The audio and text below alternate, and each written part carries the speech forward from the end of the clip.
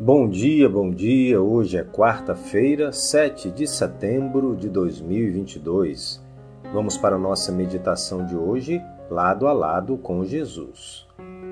Somos livres, Jesus garante.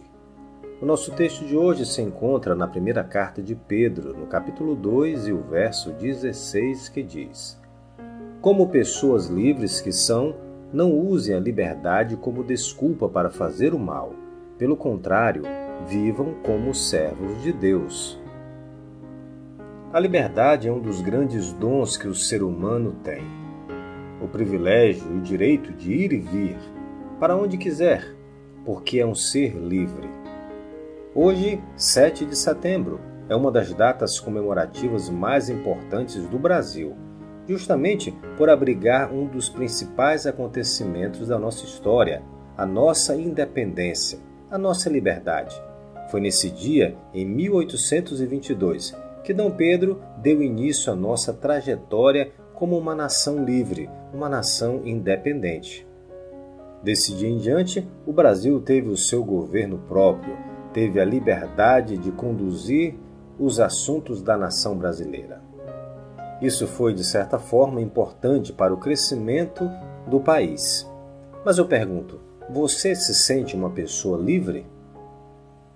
O texto de hoje diz que nós somos pessoas livres e nos aconselha a usarmos a liberdade de maneira sábia, não usando como desculpa para fazer coisas erradas, para tomar decisões erradas. Pelo contrário, precisamos viver como servo de Deus. Todos nós éramos escravos do pecado. Após a desobediência de Adão e Eva, o ser humano estava condenado a nascer, crescer, envelhecer e finalmente morrer. Uma morte eterna, sem uma outra oportunidade. Mas Jesus tinha algo especial guardado, era o plano da redenção.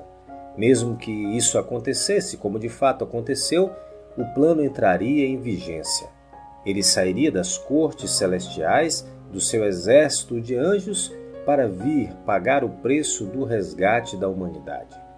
O príncipe desse mundo tomou posse de tudo, e ao ter o casal em suas mãos, ele os nomeia como servos dele, como escravos. Portanto, o ser humano não tinha liberdade, não tinha a possibilidade de uma vida eterna. Mas quando o plano da redenção entra em execução, toda a raça humana tem a oportunidade novamente de viver eternamente, assim como foi dado a Adão e Eva lá no paraíso. Quando Jesus morre na cruz do Calvário, ele paga definitivamente o preço do resgate. Agora, o príncipe desse mundo não poderia mais dizer que era dono de todas as pessoas moradoras desse planeta, porque agora temos a liberdade de escolher Queremos ser servos do príncipe desse mundo ou queremos ser servos do Deus Altíssimo, dono de todo o universo? É uma escolha que eu e você podemos fazer, temos a liberdade de fazer. Somos livres? Jesus garante. Ele garante essa liberdade, essa oportunidade de escolha que eu e você temos no dia de hoje.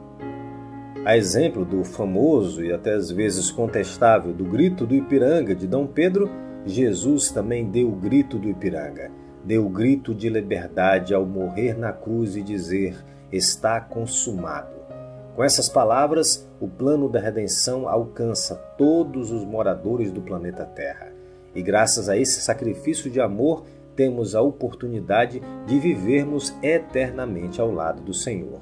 Aproveite o dia de hoje para comemorar essa liberdade que o sangue do Cordeiro te outorgou. Que Deus te abençoe. Quero orar com você.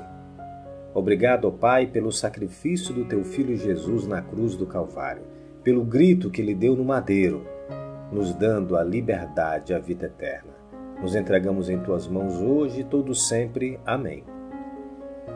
Essa foi a nossa meditação de hoje. Se você gostou, é só deixar o like. Aproveite e compartilhe também com seus amigos. Sou Marcos Magalhães, um grande abraço, fica na paz e te vejo amanhã.